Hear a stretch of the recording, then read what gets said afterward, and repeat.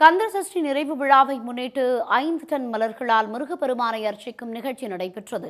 நிகழ்ச்சியில் கலந்து கொண்டு முருகப்பெருமானை தரிசித்தது குறித்து கூடுதல் தகவல்களோடு இணைகிறார் செய்தியாளர் கார்த்திக். கார்த்திக் கூடுதல் விவரங்களை பதிவு செய்யுங்க. கண்டிப்பாக முருகன் கோவில்களில் உள்ள ஆறு படை வீடுகளில் ஐந்து படை வீடுகளில் வந்து இன்று வந்து சூரசம்ஹாரம் நிகழ்ச்சியானது நடைபெறும். ஆனால் ஐந்தாம் படை வீடாக கருதக்கூடிய திருவள்ளூர் மாவட்டம் திருத்தணி பகுதியில் அமைந்திருக்கக்கூடிய முருகன் கோவிலில் வந்து முருகப்பெருமானை வந்து கோபத்தளிக்கக்கூடிய அவரை வந்து தணிக்கும் வகையில் சுமார் ஐந்து டன் பல வண்ண மலர்களை கொண்டு மலர் அபிஷேகமானது செய்யப்பட்டு முருகப்பெருமானை குளிர்விக்கும் நிகழ்ச்சியானது நடைபெற்று வருகிறது. இதில் தமிழ்நாடு ஆந்திரா உள்ளிட்ட பல்வேறு மாவட்டங்களைச் சேர்ந்த சுமார் பலாயிரக்கணக்கான பக்தர்கள் கலந்து கொண்டு சாமி தரிசனத்தில் ஈடுபட்டுள்ளனர். மேலும் தற்போது மகா தீபார்த்தனையானது முருகப்பெருமானுக்கு காண்பிக்கப்பட்டு வருகிறது. இந்த மகா தீபார்த்தனை விழாவில் வந்து தொடர்ந்து பக்தர்கள் வந்து சாமி தரிசனம் மேற்கொண்டு வருகின்றனர்.